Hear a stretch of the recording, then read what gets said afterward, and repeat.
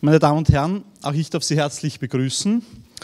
Uh, unser heutiges Thema, Wettbewerb entlang der Wertschöpfungskette, war in den vergangenen Jahren viel diskutiert, nicht nur bei uns hier in Österreich, sondern uh, europaweit. Und uh, aus diesen Diskussionen sind auch zahlreiche Initiativen erwachsen. Die wahrscheinlich bedeutendste und bekannteste äh, ist der Vorschlag über eine Richtlinie äh, über unlautere Handelspraktiken in den Geschäftsbeziehungen zwischen Unternehmen in der Lebensmittelversorgungskette vom April diesen Jahres, kurz auch UTP-Richtlinie genannt. Sie wird äh, augenblicklich unter österreichischem Ratsvorsitz verhandelt hat auch für einiges mediales Aufsehen in der letzten Zeit gesorgt im Zusammenhang mit Abänderungsanträgen im Agrarausschuss Sie erinnern sich wahrscheinlich betreffend Standards für Eigenmarken und auch Zusammenschlüsse zu Einkaufsgemeinschaften.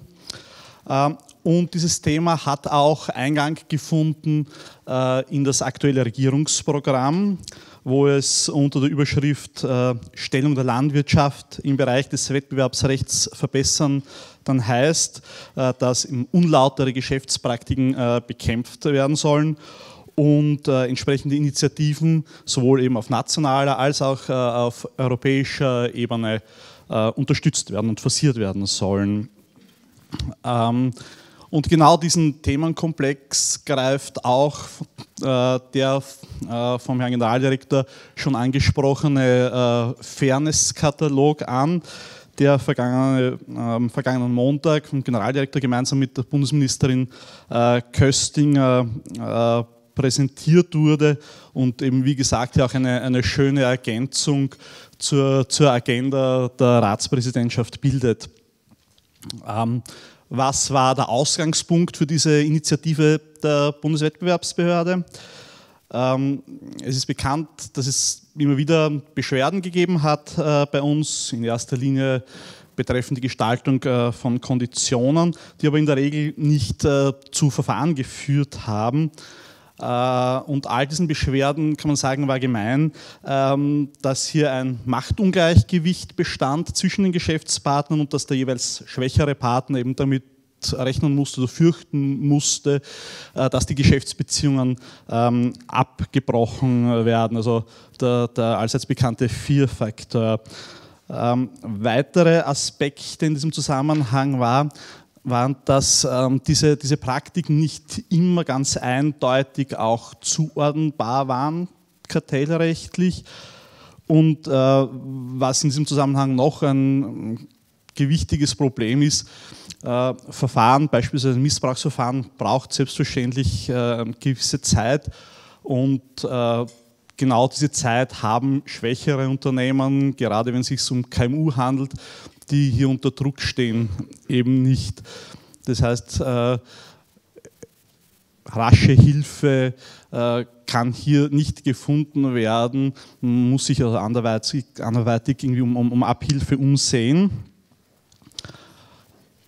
Ganz allgemein muss man natürlich sagen, dass die Benachteiligung äh, marktschwächerer äh, Unternehmen und Vertragspartner natürlich auch ähm, negative Auswirkungen eben auf diese Unternehmen selbst, eben gerade auf KMU in ihrer Entwicklung haben können und natürlich auch ähm, auf die Marktentwicklung insgesamt.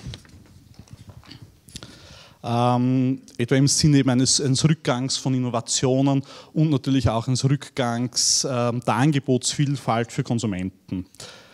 Äh, bekanntermaßen hat dann aufgrund dieser Situation und Beschwerdelage äh, die Wettbewerbskommission eine Untersuchung durchgeführt mit dem Fokus auf den Lebensmitteleinzelhandel und diese Untersuchung hat dann gemündet äh, in eine Empfehlung an die BWB zur Ausarbeitung, wie es geheißen hat, eines Code of Conduct zur Lieferanten-Abnehmer-Beziehung.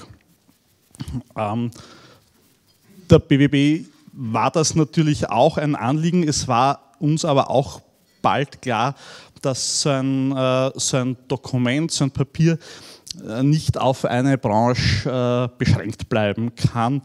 Das wirtschaftliche Ungleichgewicht kann sich eben je nach Branche zugunsten oder zulasten eben entweder des Lieferanten ähm, oder des Abnehmers ähm, auswirken. Und wir haben uns daher für einen breiteren Ansatz entschieden. Und äh, erste Umrisse dieser Initiative haben wir dann ähm, bereits Ende des vergangenen Jahres vorgestellt. Äh, manche Kernelemente, die wir damals präsentiert haben, finden sich auch jetzt im Endprodukt. Und ähm, was wir damals auch angekündigt hatten, war, dass wir in Gespräche treten wollen mit allen Stakeholdern, weil es uns eben ein besonderes Anliegen war, den, ähm, diesen Katalog möglichst praxisnah zu gestalten. Das heißt, wir haben zahlreiche Gespräche geführt, unsere Gesprächspartner gebeten, uns mitzuteilen, wo im wahrsten Sinn des Wortes ähm, der Schuh drückt, äh, uns konkrete Beispiele für problematische Geschäftspraktiken mitzuteilen. Und wir haben versucht, eben genau diese Beispiele aus dem täglichen Leben ähm, möglichst gut äh, in diesen äh, Fairness-Katalog äh, zu integrieren. Ähm, ja, aufgrund dieser Gespräche äh, wurde dann ein Entwurf erarbeitet, zu dem dann im Rahmen einer sechswöchigen Konsultation von jedem Stellung äh, genommen werden konnte. Und ähm, wir waren auch hier genauso wie gegenüber den Stakeholdern sehr dankbar für all die Anregungen und äh, haben hier noch einmal eine Überarbeitung durchgeführt. Nunmehr liegt äh, das Endprodukt vor, Sie haben es auch vor sich liegen und ich möchte nur ganz kurz zum, zum Inhalt und ähm, zur, zur Struktur einen kleinen Abriss geben. Am Beginn ähm, haben wir einmal ähm, Kategorien von wohlverhaltenswidrigen Geschäftspraktiken, wie wir das nennen, stehen. Ähm, diese Kategorien sind durchaus nicht unbekannt. Äh, sie orientieren sich äh, durchaus an dem, was man kennt, etwa aus äh, dem Bereich des Marktmachtmissbrauchs, aber auch des Lauterkeitsrechts mit ähm, den diversen äh, Behinderungspraktiken, Ausprakt äh, Ausbeutungspraktiken und auch solchen, die hm, jetzt nicht eindeutig einer äh, Kategorie zugeordnet werden können. Daran anschließend äh, finden sich Auslegungsgrundsätze und da soll es eben tatsächlich schon ins Praktische gehen, die es dem Anwender in der Praxis eben erleichtern sollen, einen Sachverhalt, eine Geschäftspraktik auch richtig einzuordnen. Und das Kernstück, möchte ich äh, schließlich sagen, ist dann ein Katalog, ein knapp gefasster Katalog, jedenfalls wohlverhaltenswidrige äh, Geschäftspraktiken, eine schwarze Liste, äh, wie man so will, die wir als jedenfalls unfairs wohlverhaltenswidrig äh, betrachten. Jetzt einmal ganz abgesehen äh, von der konkreten rechtlichen Beurteilung, beispielsweise eben durch ein Gericht äh, im Einzelfall, ob nun wirklich im Einzelfall eine Praktik eben etwa als Missbrauch der Marktmacht oder ein Verstoß etwa gegen Paragraph 1 UWG gesehen würde. Ähm, daran anschließend ähm, äh, versuchen wir einen möglichst anschaulichen Überblick über die wesentlichsten Bestimmungen ähm, des österreichischen Rechts zu geben und haben uns hier konzentriert auf die Bestimmungen des äh, Kartellgesetzes, des Nachversorgungsgesetzes, äh, des UGB, ähm, auch des, natürlich des UWG, aber auch des allgemeinen Zivilrechts des ABGB. Und im Rahmen dieser Darstellung des Rechts haben wir natürlich auch in Praxisbeispiele eingeflochten, äh, die die Bewertung für das Unternehmen, für den Anwender äh, vereinfachen sollen.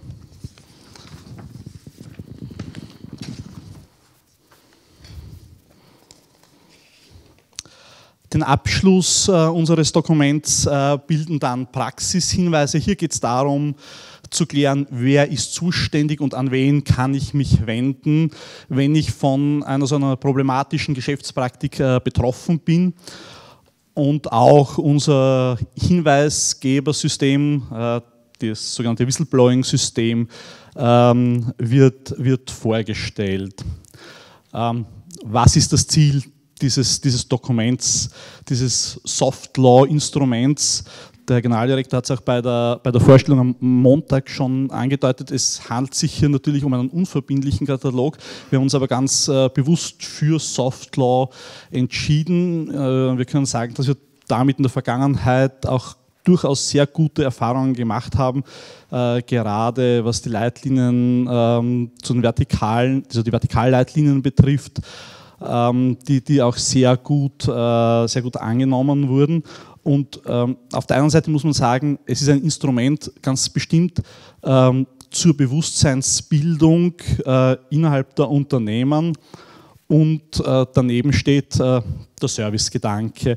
Es geht darum, äh, möglichst gut eine Hilfestellung äh, zu bieten, beispielsweise indem man vielleicht versuchen könnte, den äh, Code of Conduct einzubinden in das Compliance-Programm eines Unternehmens und eben um auch einigermaßen oder sehr recht anschaulich das geltende Recht ähm, darzustellen.